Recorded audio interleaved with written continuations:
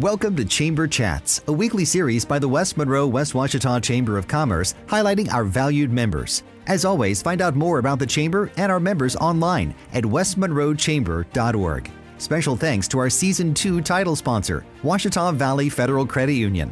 And now, this week's episode of Chamber Chats. Hello, everyone. Welcome to today's episode of Chamber Chats, filmed right here at Louisiana Delta Community College. Today, I have with us Dr. Sean Sanson, who owns Family Sanson Medicine and also um, a newly elected Coroner elect, yes. Yes, coroner elect. So, Dr. Sanson, how did you get into family medicine? Let's start with that. Well, I was in medical school, and everybody kind of has to make a decision somewhere during medical school what they want to do, what they want to specialize in. And for the longest time, you know, I went into medical school, I thought I was going to do psychiatry. Mm-hmm. I thought that's what I wanted to do. My undergraduate was in psychology, but then uh, this may be bad to say, but uh, uh, the more I worked with a psychiatrist at the medical school, Mm-hmm. I realized I could not spend four years with those people. Oh, wow. They were weird. So Dr. I couldn't do it. Let's hope they're not watching. um, okay, and then you know you I guess you graduated, decide to you know set up your own practice, Correct. which is a family owned. Well, I actually started at, first of all, I started in Farmerville for three years. Okay.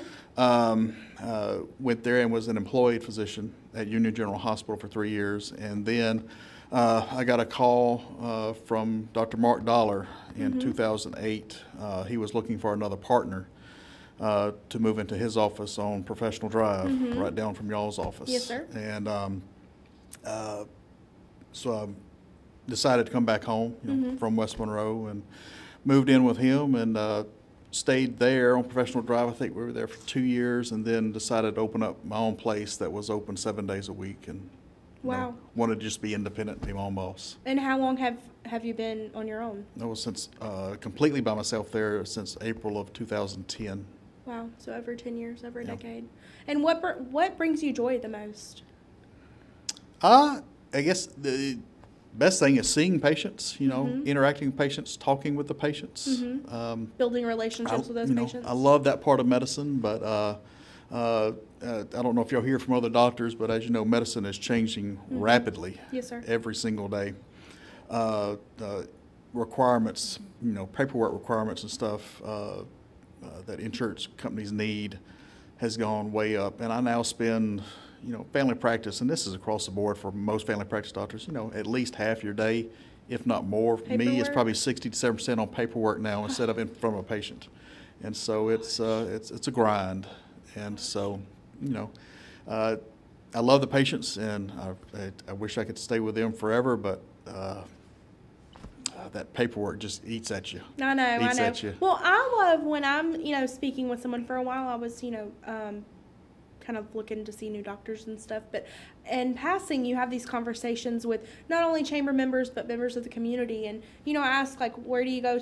Who's your primary care doctor? And uh, let me tell you, seventy-five percent of the time they would say Dr. Sanson or you know Jody, Oh, yeah. and I'm like, see- goodness. Uh, there, there was a time that there in the clinic we were seeing over 300 people a day. It was we were, we were busy for a while. Yeah. That's insane. That is a, a lot of people in one day. Mm-hmm. So, but I can't imagine doing paperwork on 300 people. Well, that's back when the requirements were not as bad, and also we did not have to be on computer. That's back with paper charts. Mm-hmm. Uh, uh, computerized charting has completely changed the game and has really it's it's probably cut in half how many people you can see a day per provider. Wow. It's uh, it has been a humongous game changer in medicine. I can imagine. I can imagine. that has really hurt. That's why you see so many uh, physicians now are employed Mm-hmm. uh, by hospitals and medical groups. I'm one of the few that's still uh, independent. Wow. So let's dive into, um, you know, corner. I want to talk about that. Sure. What are some, how, how, why did you pursue being? Well, what we just talked about, I was, you know, you know, uh, the paperwork and everything in medicine was just starting to kind of eat at me and get a little burnt out with that paperwork and all that. And so I've been looking at other things, and you know, I had I know all the politicians in town, so uh, several of them are at my office before this last election or before you signed up, and uh, I can remember one of them was in my office talking about things, and we were just looking at what all was coming up uh, in that election, and coroner was one of them. and he just said, "Hey, you ought to run for coroner." Yes. And I'm like, well, I haven't thought about that, but you know, my dad's run for many offices. Uh, you know, he ran for district judge many times. Uh, never won, but uh, he ran. He ran. uh, uh, and so he loves it, and I, kind of like politics and that sort of thing a little bit. Yeah. And so I called some other friends of mine in law enforcement and stuff, and uh, was encouraged to run. They all said do it. That's awesome. And so uh, I threw my hat in and uh, uh, started talking to everybody about the coroner's office, you know, what things could be improved, you know, what needs to be changed, that sort of thing, and, uh, uh, and then won.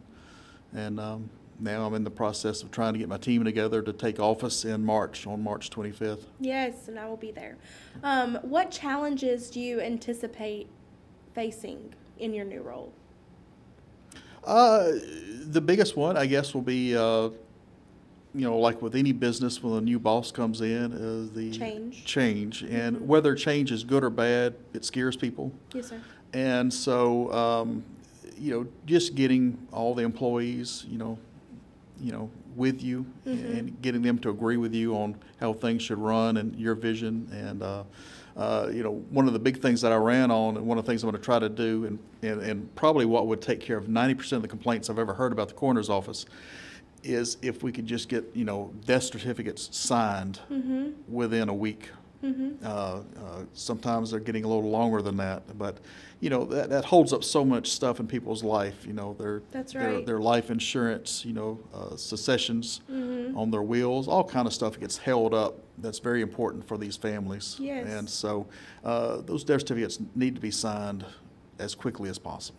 Absolutely. Um, so, what do you anticipate implementing, like new to you? For besides that, I know that we we've had some personal conversations about you know what changes um, you want to make in that new position, and so what else besides the death certificates being signed faster? Um, that that's probably the biggest one. Um, uh, I'm also looking at uh, where we send our autopsies, and um, uh, currently autopsies are being sent out of state, uh, and so you know those autopsies are paid for with uh, Louisiana Ouachita Parish, actually Ouachita Parish taxpayer money. That's right. And so I would like that money to at least stay in the state. Unfortunately, we don't have a forensic pathologist in Ouachita Parish. Uh, the closest one is in Shreveport. And I've uh, been in contact with the medical school there, and they're extremely excited about having business from here. That would be awesome. And so that's going to be probably the other biggest change that I make is start sending that there, and that's going to save uh, quite a bit of money because you know they they charge a little less than what is being paid to the guys in Little Rock. Plus, it's going to cut the transportation cost in half That's to great. actually you know transporting the dead bodies. Yes. And piggybacking off of that, what do you think the biggest misconception is about corners? Probably that we just do death. Yeah. uh, uh, most people, when they think of the coroner, they think, oh, yeah, they pronounce people dead, Mm-hmm. sign the death certificate. Uh, we actually have two other large functions, uh, and one of them is actually keeps us busier than the death side. Yeah. And that is anybody in the state of Louisiana who is committed for a psychiatric Mm-hmm. uh, or mental illness into the hospital or psychiatric hospital against their will, the coroner, his or herself, has to sign off on that. Gotcha. Uh, any doctor can hold somebody in the hospital for 72 hours, but once they reach that 72 hour threshold, the coroner has to sign. Yeah. And uh, currently in Ouachita Parish, uh, there are around 10 to 13 people per day, seven days a week, 365 days a year, committed into the psych hospitals against their That will. does get that does keep you busy. Yes, yes, because I will have to see all those myself. Yes. Wow. Thirteen a day. Yes. That's a lot. Yep. Yeah, you're gonna be a busy man. Yep, yep. And then the other thing, um, which most people have no clue at all, is we're also in charge of investigations and collecting forensic evidence for all sexual assaults and rapes. Mm-hmm.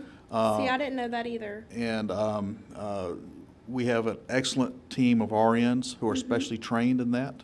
Uh, uh, some really fine RNs uh, who go through a lot of uh, uh, workshops and schooling uh, to learn how to take a history, you know, make these, mostly ladies, unfortunately, uh, feel comfortable, um, and then collect uh, the rape kit, collect evidence for uh, DNA and that sort of thing.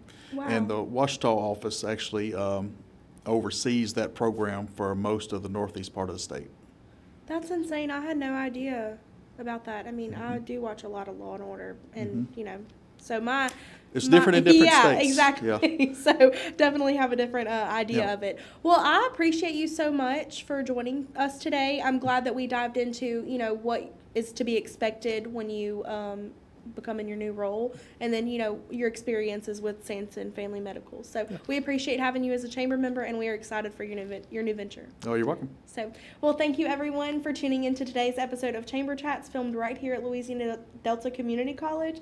Um, stay tuned for more episodes as we highlight different board members and chamber members.